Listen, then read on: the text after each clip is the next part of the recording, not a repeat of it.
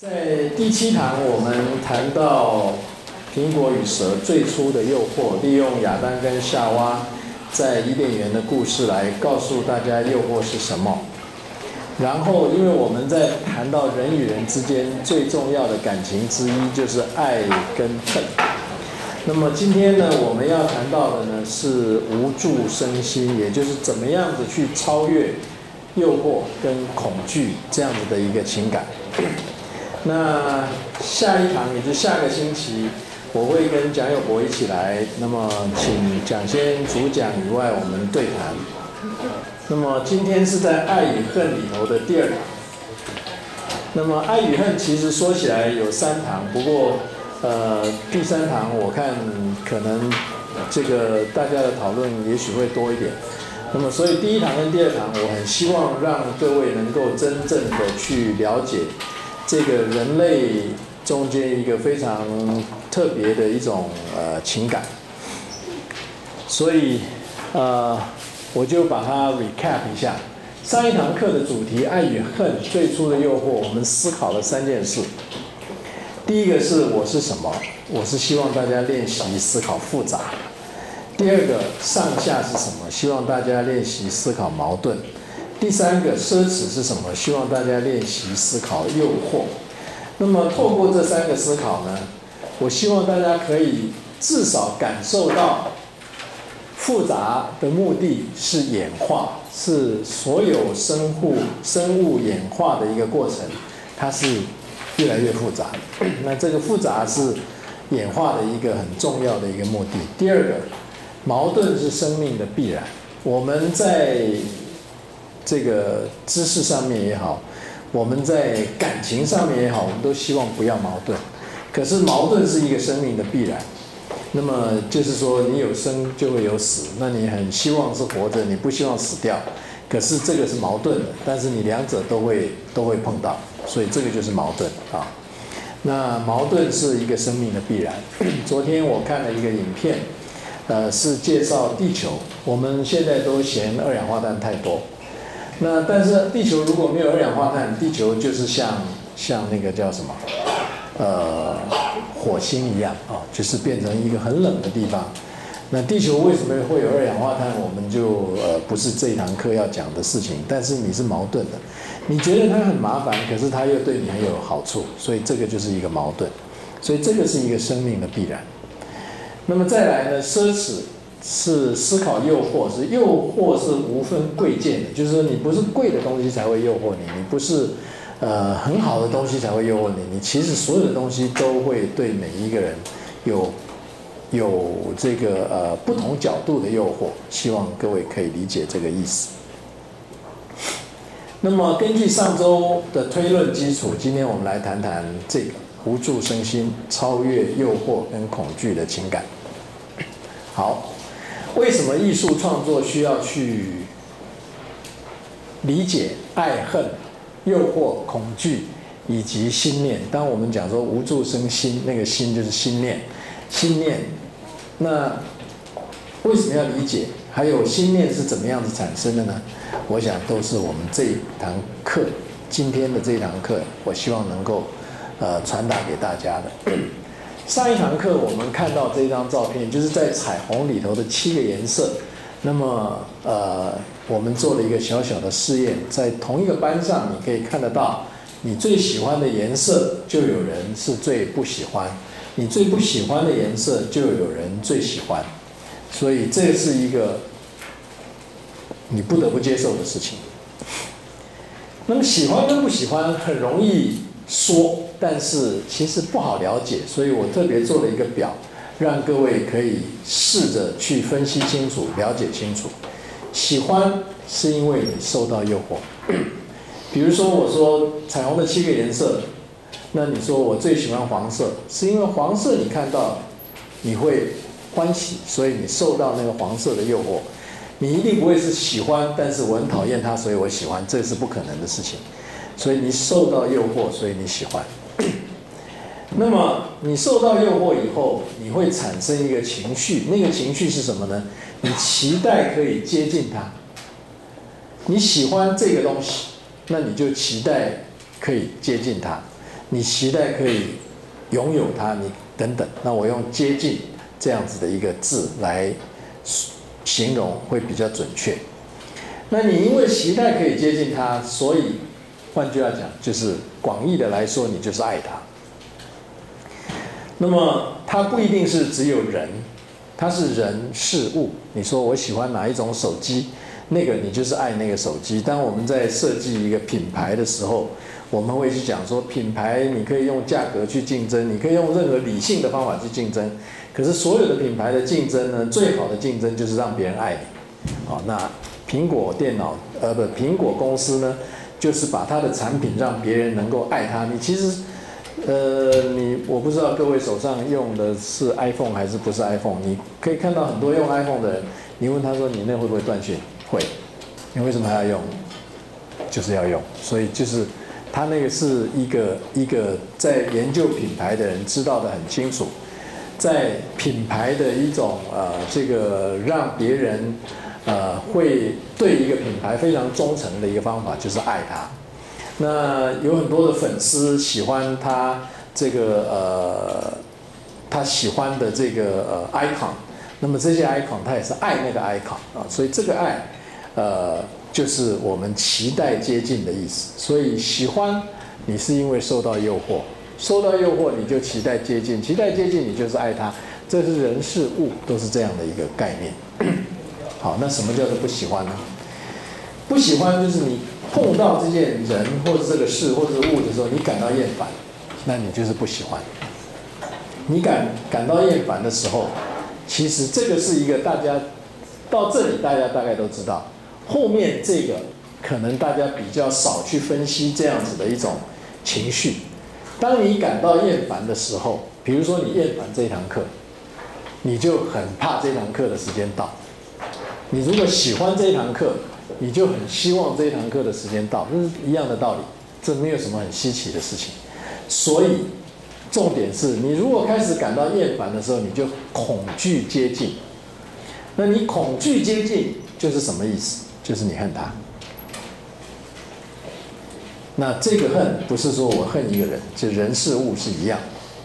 所以我希望从这个经过简化过的表，大家可以比较了解。不喜欢你就会恐惧接近，那这个是人事物一样的；喜欢你就会期待接近，人事物是一样的。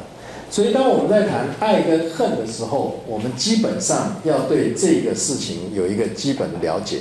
它不一定是只有爱情的爱，你对一个东西、对一个对一个饮料也是一样。好，那这个期待是关键。就是英文说的 expect，你会开始 expect 这件事情，恐惧，你就是开始 fear 这个事情。这两个情绪是一个非常特别的东西。这两个情绪呢，就会让你开始，比如说，如果你是 expect，你对一个事情就很想去做，不该做的你也想去做，就像夏娃说，上帝跟他说，你不要去吃那个苹果，可是。他期待这件事情，他就去做了。所以，expect 这件事情呢，是一个你很想去做；fear 这件事情就是你很不想去做。啊，所以它是两个很特别的一个情绪。这两个情绪是我们今天要讲的一个重点。那么，今天我们说，那无助身心是什么意思呢？我觉得，与其要谈无助身心，就先分析什么叫做有助身心。无，先谈有。所有助身心，你就看这几个眼镜：红、橙、黄、绿、蓝、靛、紫，这就是彩虹的颜色。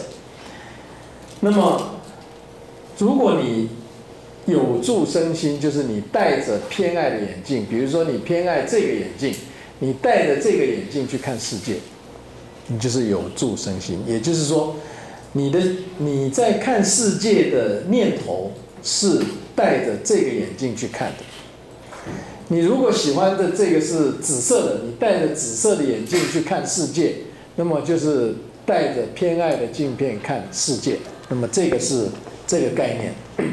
那么，所以我们现在往下看，对事情产生期待和恐惧的情感基础，我们把它讲完。有助身心就是带着偏爱的镜片去看世界，对事情产生了期待或者是恐惧。比如说你喜欢这个红色，结果你带着这个去看世界，你发现你不喜欢的颜色，比如说你不喜欢的颜色是这个黄，那其中你看到一个黄，你很希望那个黄的赶快走掉，让它从你眼前消失，那个就是恐惧，或者是期待它消失，恐惧它来到，都是一样的道理，就是希望它没有，或者是希望它来到。恐惧它不来到，期待它来到，也是一样的一个道理。住就是偏爱，心就是情感基础。所以我们用刚刚的那一张表跟这一张表，大概就可以知道为什么我们会有爱跟恨。爱跟恨它怎么样子对我们观察这个世界产生一些变化。那么这些事情呢，这这个都是基础，希望大家可以理解。如果各位不是经常思考这样的事情的时候，你你有的就是你自己的反应。那么你自己的反应，你就不是看到全面的事情。所以我希望今天的课程能够帮助大家看到一个全面的事情。换句话讲，如果你是偏爱这个眼镜，这个就是变成你的见解。你看到的世界就是会把世界加上这个滤光镜看到的世界，而不是绿光，就是你看到的世界的光，就是加了一层。换句话讲，如果这个世界有这么多的不同的见解，那么你会怎么做呢？你会对所有这些颜色的人看到的，戴着紫色眼镜的人看到说：“我看到了一个紫色的世界。”他说：“No，世界不是这样子。”世界是红色才对，yes。所以你会对于说世界是 yes 的人，你会很赞成他；你会对于说世界是黄橙蓝靛紫的人，你跟他说 no 不对，你们的看法是不对。所以这个概念呢是一个关键。那么什么要这样叫做无助身心呢？很，请大家注意看，这是刚刚我们看的那个表。无助身心是一个非常重要，在做科学也好，在做艺术也好，一个非常重要的一个一个呃，我们说它方法吧，在这里画了一条，画的这一条是什么意思呢？事实上，就是每一个人都会随着他的天性，你都会受到某一些东西的诱惑。你受到某一些东西的诱惑是很自然的，所以你会对一些东西喜欢不喜欢。这个你不太可能叫一个人讲说对每某一每一个事情看起来都很喜欢，对每一个人看起来都很喜欢，这是不可能。但是他可以做一件事情，就像是我们不能够不接触到细菌一样的，你是一定会接触到，但是你可以加一个防火墙。加防火墙是什么意思呢？请大家注意看这个动作。加了防火墙以后，你受到诱惑，你会爱一个东西；感到厌烦，你会愤恨一个东西。可是，你不会去期待接近。你爱一个东西，你会变成 no expectation。你这一边呢，会 no fear。这个不要用 hope 这个字好了，用 expect 比较好。那么这是什么意思？因为你在这里期待跟恐惧碰到防火墙的时候，它没有进来。它没有进来的时候，你有爱有恨，做一个人，你不要做一个人好了，你做一个狗都有可能。像我家养的狗，它们一定有，一定有它喜欢的东西，一定不喜欢的东西。它喜欢的东西，它就一直靠过来；它不喜欢的东西，它躲得远远的。你不喜欢的东西拿过去，它跑掉，这是一定的。可是你告诉他说，你能不能不要期待，不要恐惧？他没有办法，因为他没有那一部分的智能去处理这些事情，他的脑袋没有办法，啊，英文说 process，他的脑袋没有办法运作那样的事情，所以他的脑袋没有办法设这个防火墙，所以狗是不喜欢的时候，砰砰一下就咬你，它不会客气的。我自己养的狗，它碰到一个事情，那我的手上起码有。二十几个洞都是我自己的狗咬的，因为它小时候大概被虐待，是一个被弃养的狗。有一次我睡觉睡在他旁边，我不翻身手伸过去撞到他，他就咵，半夜咬了我血淋淋。那那个是因为他恐惧，他不是期待想吃人肉，绝对不是的。他恐惧，他他被打惯，所以他觉得有人打我，啪，因为他也在睡，我也在睡，所以我碰到他的时候，他就咬过来。所以现在我不敢跟他睡在一起，不小心他咬到脖子就麻烦，咬到手还好。所以各位现在可以看我的手，你看我的手，这个是可以握的，这只手到这里都可以握，这里可以握，这只不能握，这只最多只能到，就是被它咬的，好。那反过来说，我也要克服那个恐惧，我不能变成因为恐惧，所以我开始恨他，因为那个那个逻辑是不通的，那所以。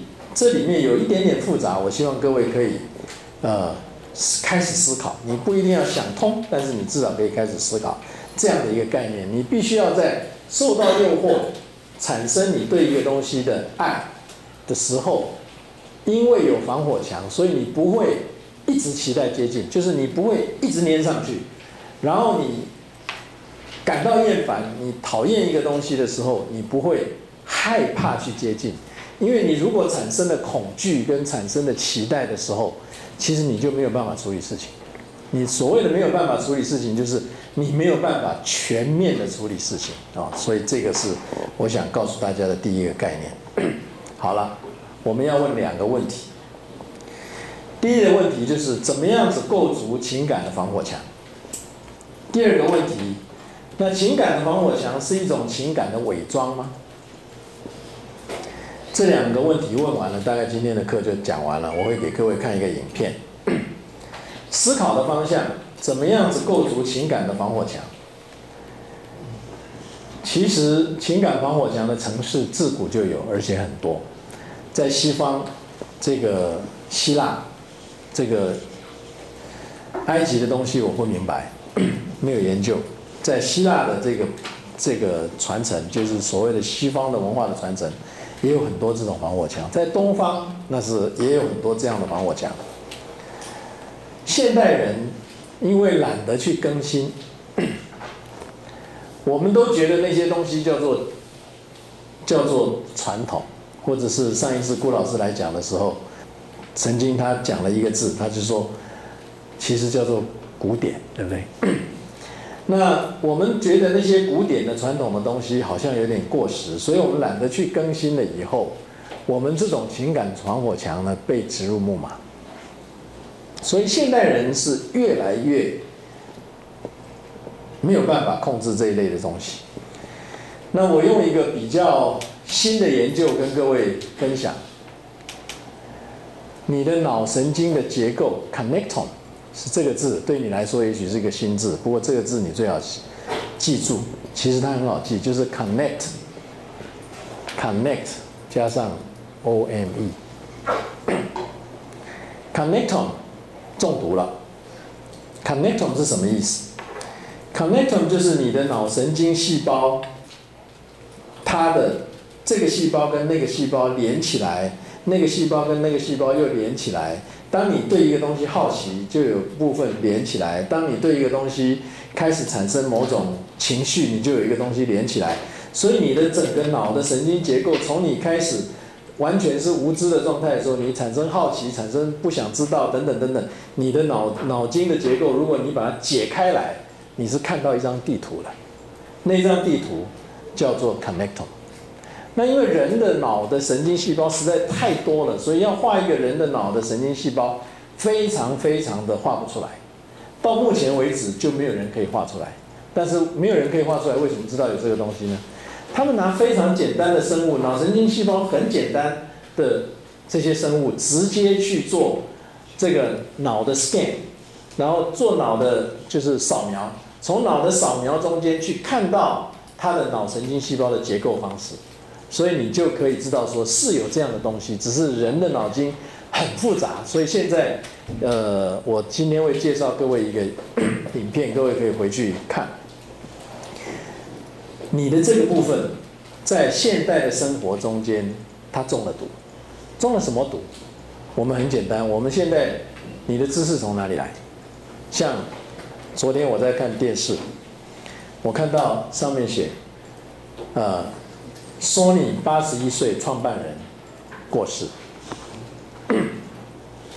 那另外又写 Sony 的这个某一个电视台，他写 Sony 的呃前任这个呃社长、创办人谁谁谁过世。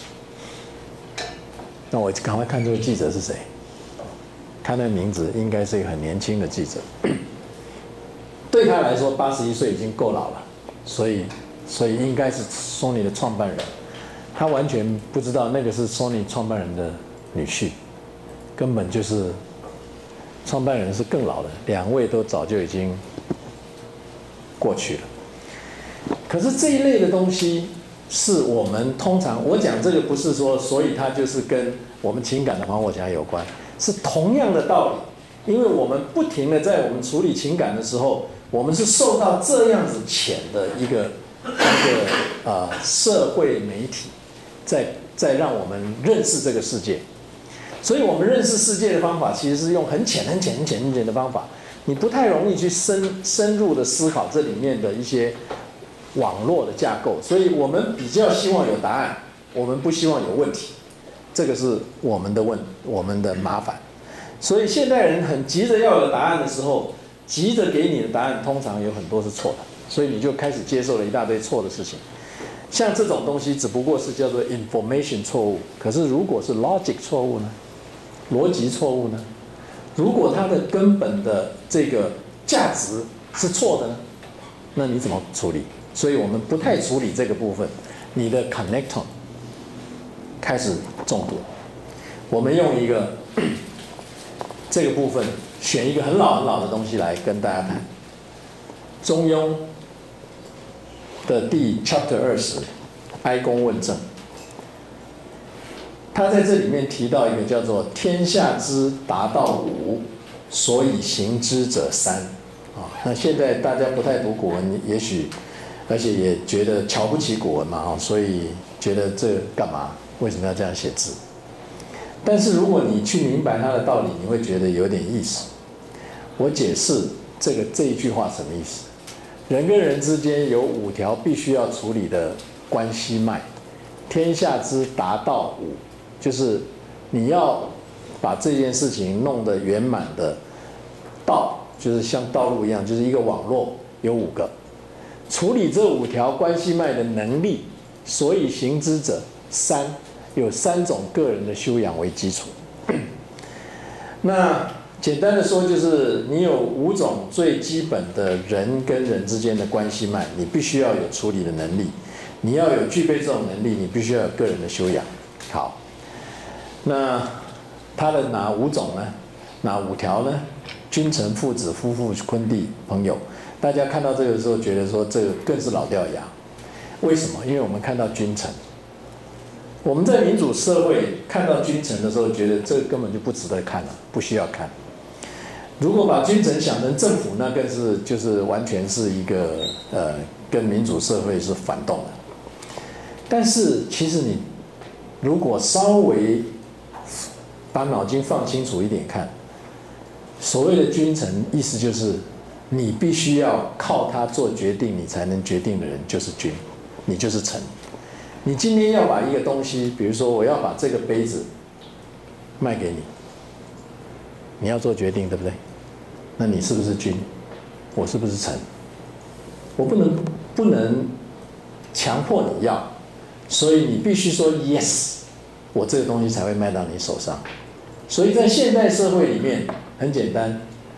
变成买东西的人叫做君，卖东西的人就一定要变成臣。所以如果你不懂君臣的关系，你怎么去处理你所有的人跟人之间的关系呢？就是这个道理。所以你不要把君臣看成是国王跟臣子，不是。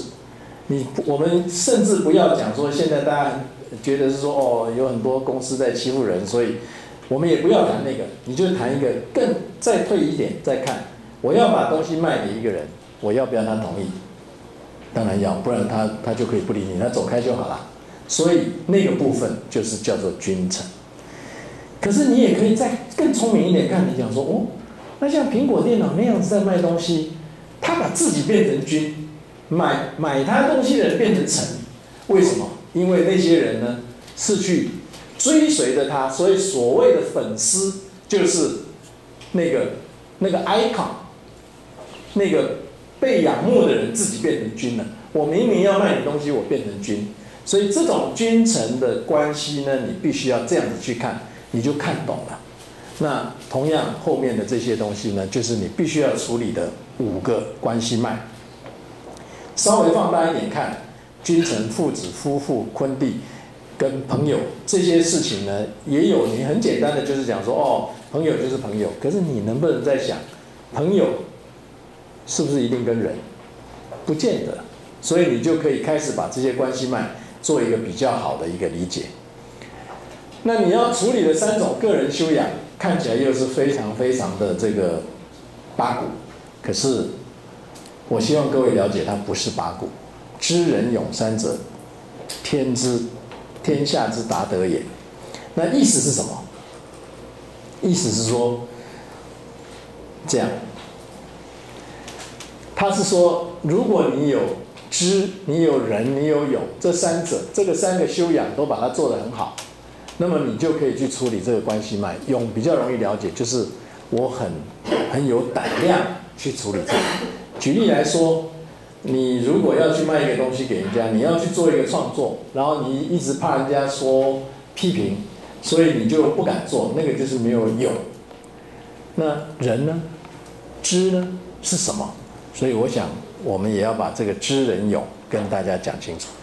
可是他说啊，所以行之者一也，意思是说，如果你把这三个都做得到的话，其实是差不多一样的道理。那这里面有讲知这件事情，他说知啊，有生出来就知道的人，就是他他很有慧根，所以他生出来就懂懂某一些事。有些人呢是要学了半天才知道，就像我们所有的人一样，我们要到学校去学，我们要在家庭中学，我们要我们要这个被教，我们终于懂。所以这个有学而知之，还有一种呢是。你生出来也不知道，学了搞了半天也不知道，终于有一天被打了一巴掌以后，终于知道了，就是困而知之，就是变成你要倒闭赔了一大堆钱才知道说，哦，原来事情不能这样做，或者是你要被关到牢里去，或者是你被必须要呃什么人死掉，你才知道说，哇，原来是孝顺是这个意思，那这个就是叫做困而知之，就是你必须要给你困难，你才知道说，哦，原来事情是这样。这个中庸之中说的是说，知道的方法有三种，三种，一种是命比较好的，就是你他没有太多困难，他就是知道；第二种是学一学他就知道；第三种是要经过很多困难终于知道。可是重点是他说，但是等到他知道的时候，他就是一件事，知道就是知道，知道就是知道，只是有的是命好一点知道，有的是命苦一点知道。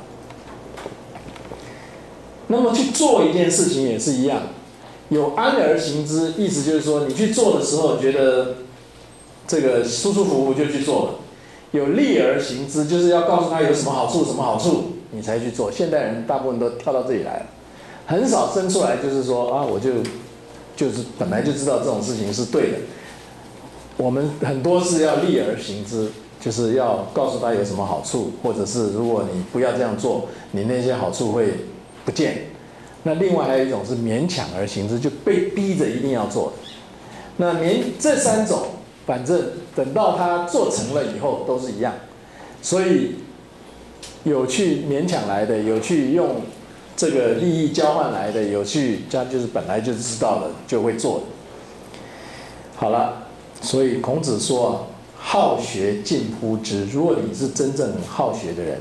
你就非常非常接近这个知的修养，这就是为什么我跟同学一直期待同学能够好好的去思考，因为好学不是喜欢听坐在教室里听课，不是，你必须要思考，你真的要学会一件事情，不是听，你是想，闻是一件事，听到，但是你要想，想完了以后去练习，你才真正的知道。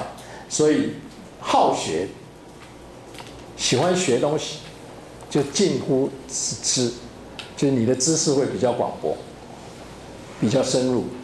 力行近乎仁，那么这个事情就不是那么好懂。意思就是说，我要去做，我才就是就是叫做仁。那么我知道我不会做，叫做勇。这个是这个是概念，就是说我去做就是人，我知道我不会就是有。那大部分的人，我们当然都知道，要承认自己知道不会，这个是很难的。所以知道这三个东西，你就知道你自己怎么把自己变成是一个武功很高强的人。所以因为你是武功很高强的人，所以你就可以知道怎么跟人家相处。这个治人不是把人家拿来统治，是怎么跟人家相处。你知道怎么跟人家相处，你就可以治国家天下。不是要变成总统，而是你就可以影响国家天下，你就可以影响很多很多的人。那所以，如果你是要当一位艺术家，你希望你的艺术真正的能够影响很多的人，你必须要先有知，你必须要有人，你必须要有勇。那这个时候，你的练习的办法是，你要好好学，你要肯去做，然后同时你要知道你哪里不行，这三个事情。如果你好学又肯去做，又知道哪里不行。那么你就可以练就一身的武功，你练就一身的武功，你就可以跟人家相处，你可以懂得跟人家相处，那你就可以让你的艺术或者是你的观念影响很多很多的人。好了，这个部分跟我们刚刚谈到的爱跟恨防火墙有什么关系？我在这里做一个简短的建议。这个建议呢，就是你取得中庸的知人勇的这个套装软体，去更新你已经中毒的脑神经结构的 connector。那么用知作为扫毒程式，什么意思呢？因为知就是你非常好学，你非常好学，你就可以知道你现在被灌进去的东西有哪些是不对的，所以你必须要扩大你的知识的广度跟深度。那这个是需要思考的。第二个，以人为执行程式，意思就是说，你去做这件事情的时候，必须要用人。人事实上是一个很公平的事情，你必须要没有说啊，我比较喜欢红色，所以那个同学穿红色，所以我对他好一点，我叫他，我不肯叫他，因为我不喜欢咖啡色，我不叫他。其人事实上就是公平，一视同仁。你用这样子作为执行程式。第三个，你用勇为防毒程式，勇是什么？我知错。我就能改，我知道我自己不行，我就赶快去补那个地方的东西。所以你为了防，你知你用这个知去扫毒，勇去防毒，人去执行，那么你的 connector 就会变成是一套新的一个脑的结构。第二个，第二个问题，它是一种情感的伪装吗？我在这里希望告诉各位的是，脑神经结构的扫毒跟防毒的程式，哈。它没有办法是伪装，因为伪装基本上是一个木马的城市的一个特质，它必须要真实，它才能够真正扫得了毒。所以千万不要误会成为，当我说哦，你必须不要让你的恐惧，当你去爱一个东西的时候，你不要粘在它上面；当你去讨厌一个东西的时候，你不要都不肯跟它接触。意思是说，你不是要伪装，你明明很讨厌他，就是啊，你不错，不是这个意思。你在真正的不喜欢的时候，你必须要去面对，以便能够去处理这件事情。你面对去处理这件事情，你就不伪装了，你就变成真实的。那真实的时候呢？也许你为什么讨厌他，是因为你根本就认识错误。也许你为什么讨厌他是有别的原因，所以所有的这些事情呢，你必须要先扫毒跟防毒，用很真实的情形来做。好，那哀公问政，同样他也讲了这句话。他说：“成者天之道也，成之者人之道也。”我特别把红字边弄出来，一方面也让各位知道，成是天的一个很自然的，呃。结构方式，我应该这样说。诚之就是努力去变成诚，也就是非常坦诚自然，这是天的一种呃天的结构方式。你努力要去变成像天一样，这就是人人去学天的道理。比如说你现在看到星星为什么那么规矩这样子走，我们走一走会觉得烦，我们走一走觉得烦了以后就讲说，那我溜去哪里玩一下？如果我们天的运行的轨道也是这样溜一下，那我们的地球一天到晚跟别的星球转过来转过去，因为就是不行。天的你你看到星星在运行的时候，它是没有办法说我我们来改变一下轨道，没有办法。所以成者天之道也，可是成之者就是学习要去做成，这是人的人的一个结构方式。成。像这样子成像天一样的是不免而重，意思就是说我不是很勉强，可是我就是会达到。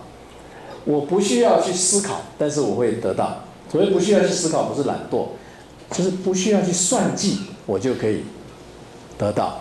我从容的走在这个中间啊，中间就是说我也不害怕，我也不期待，但是我很从容。这样子的人叫做圣人。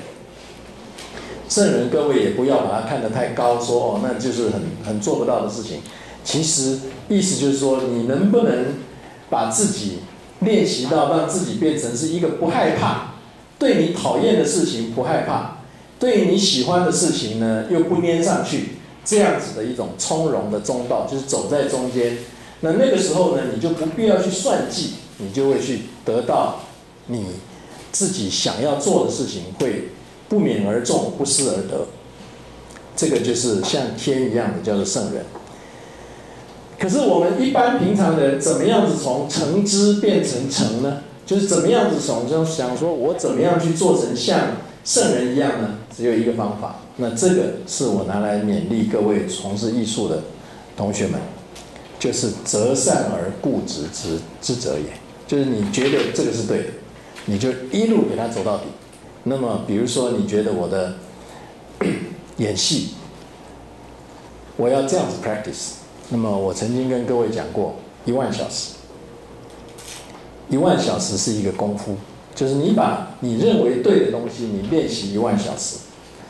Beatles 是这样起来的。Beatles 在他成名以前，大家觉得说，哎，Beatles 是一炮而红，其实天下没有一炮而红这个事情。Beatles 他们现在去统计他，他到开始成名以前。他在夜总会唱，他在小小歌厅唱，他所有累积累加起来超过一万小时。那为什么一万小时这么重要呢？因为他在那些地方他没有成名，是人家点什么他唱什么，他没有办法说我唱我会唱，你变成大牌才有说我唱我会唱。当你是小牌的时候，那个一万小时是很难过的。意思就是说，当时 Beatles 是人家点歌他就得唱。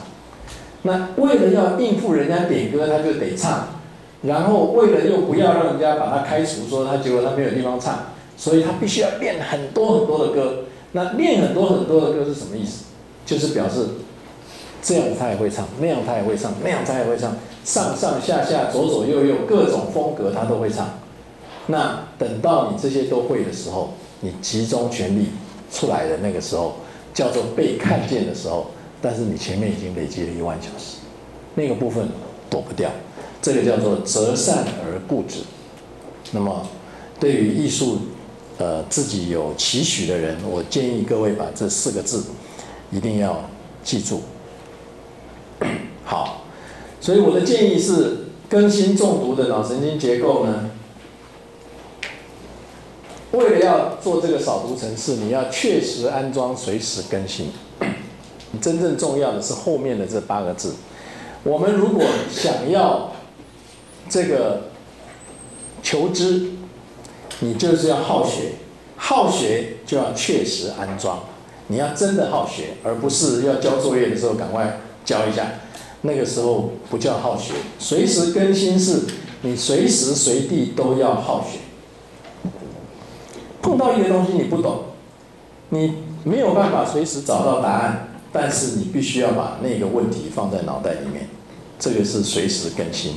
等到答案跳出来的时候，你才会认识，说哦，原来我以前不懂的这个答案在这里。那么这个是我个人的一些经验，希望能够分享给大家。一个人还没有表现出喜怒哀乐时的平静情绪，叫做中，就是中庸是综合的意思。中表现出情绪之后，经过调整而符合常理，称为和。